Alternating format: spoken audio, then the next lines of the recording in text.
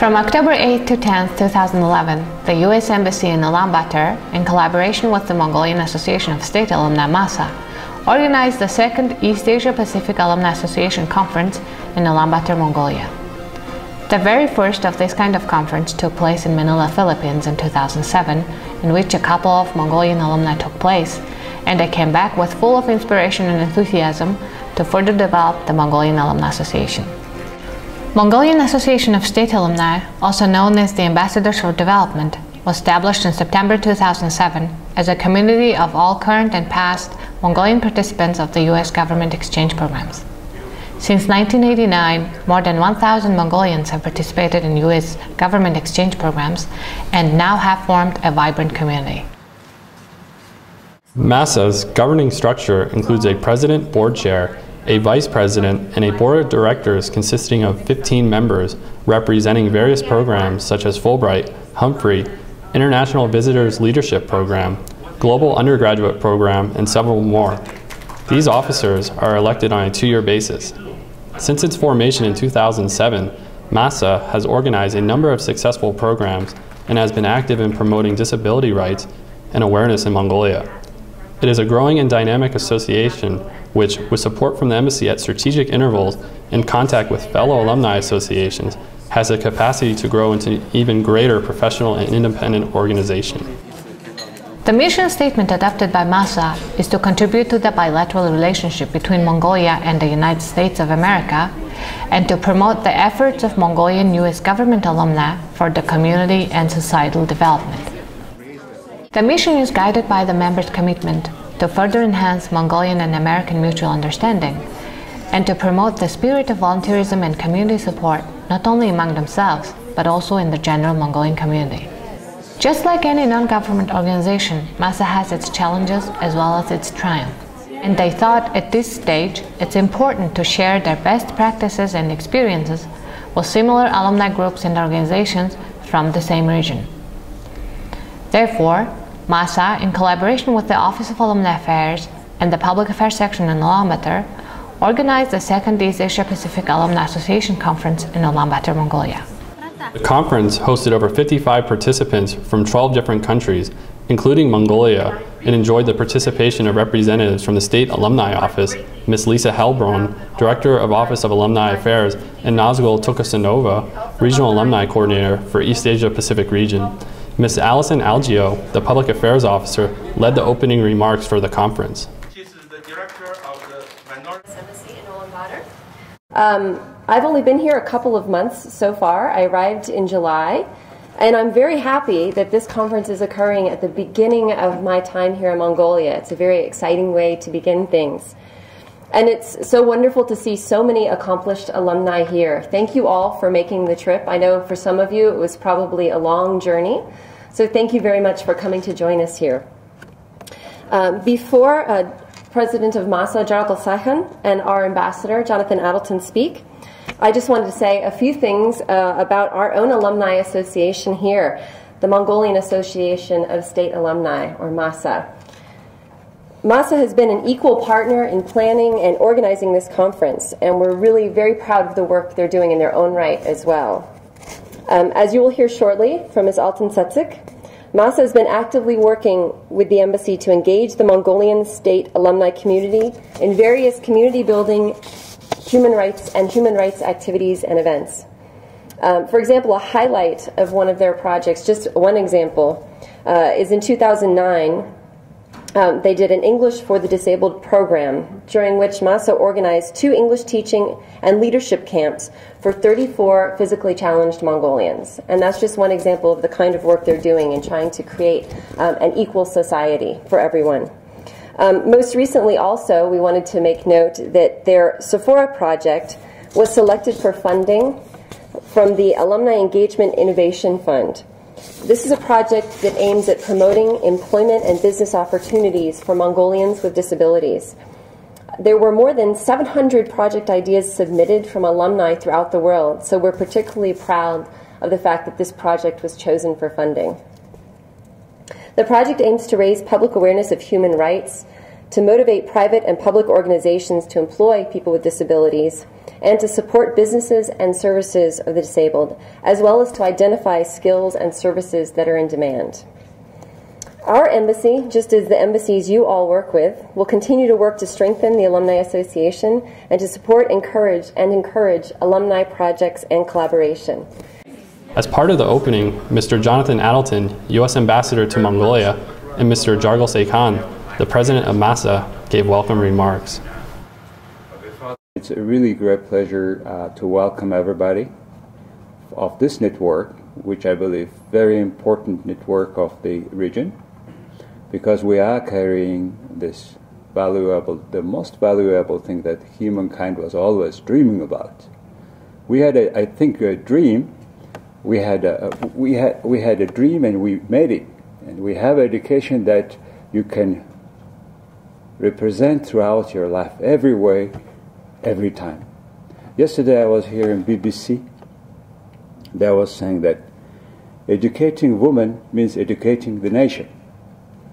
That's that was, I think, a very strong message for all of us because uh, not only women, everybody educated, in particular with the higher standard of education, are the career of development, career of changes we want to see in our own nations.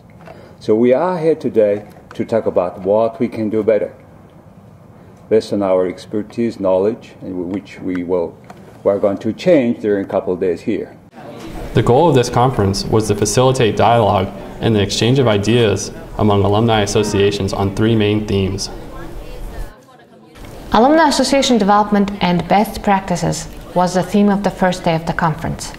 On this day, we heard from four different countries about their best practices. Ms. Alton Tsetsek, a board and one of the founding members of MASA, gave presentation on MASA history, activities, challenges, and successes, and its experience of promoting social responsibility. We also enjoyed an excellent presentation by Ms. Deridek, who was representing the Fulbright Undergraduate State Alumni Association of Cambodia on membership promotion and maintaining membership interest. This was followed by a presentation by Ms. Akiko Imai, who was representing the Tokyo Fulbright Association on financial resources and fundraising strategies. We also enjoyed a presentation by Ms. Omar Kaim, who was representing Myanmar US Friendship Exchange on maximizing organizational networking.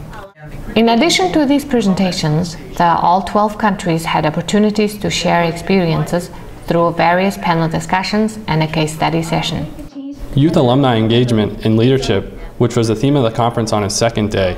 On this day, we enjoyed presentations on youth leadership and volunteerism and their involvement in Alumni Association development from four different countries, such as Japan's Ms. Chi Hashimoto, representing the Japanese East-West Center alumni, Cambodia's Ms. Surin Sovan, representing the Association of Undergraduate State Alumni of Cambodia, China's Mr. Zhang Yaoping, representing the Chinese Humphrey Alumni Association, and Thailand, Mr. Yutakari Chalaramthai, representing the Youth Exchange and Study Program Thailand alumni.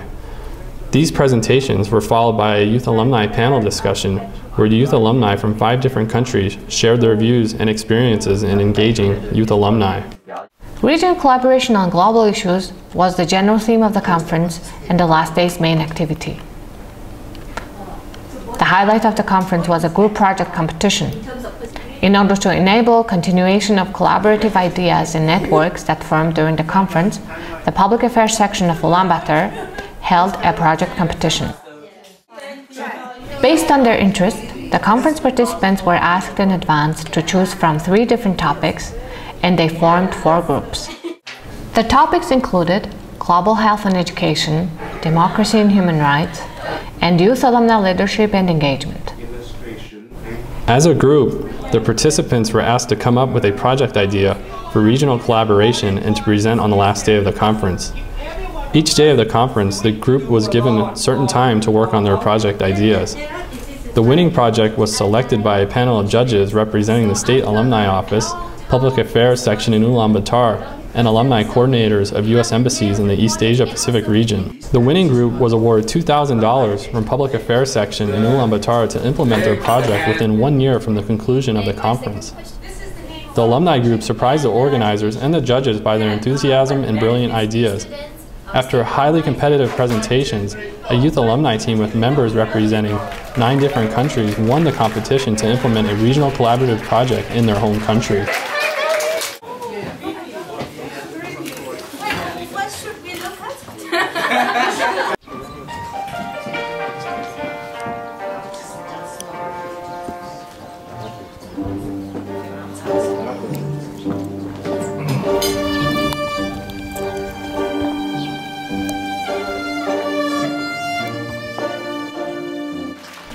Conference, the participants formed networks not only through formal talks and presentations, but also through cultural activities.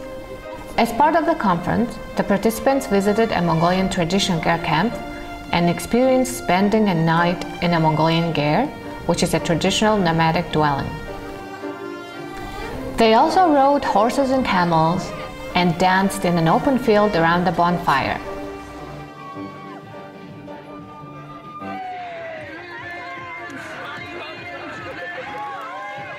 On the first day of the conference, the participants enjoyed a working dinner hosted by the Public Affairs section in Ulaanbaatar at the Mongolian State Ceremonial Center Ektenger, which is also a residential area for Mongolian President, Prime Minister, and the Speaker of Parliament.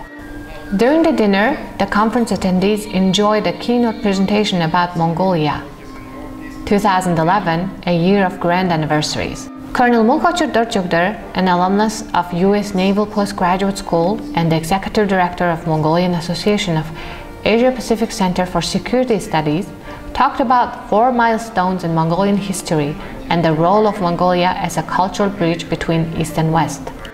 After Colonel Mokarchir's presentation, the participants enjoyed a concert by the Mongolian State Morin Khuur Orchestra, which was a shining highlight of the conference, and the orchestra amazed all the guests with the talent and professional skills of its artists.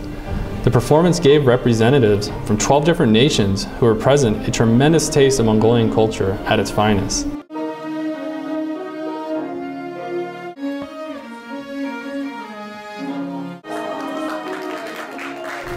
These experiences helped not only to promote Mongolian culture and tradition, but also to strengthen networking and friendship among the participants. Conference was a positive success that facilitated exchange of ideas and gave encouragement, enthusiasm, and opportunity to network and form friendship among alumni of 12 different countries from the East Asia and Pacific region.